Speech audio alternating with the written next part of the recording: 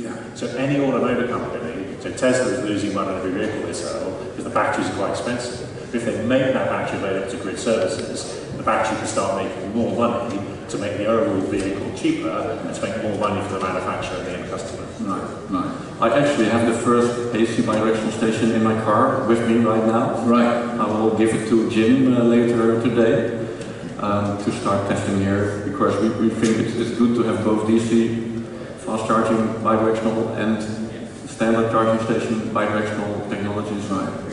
So you can equip all demand in the market and really get it going. Yeah.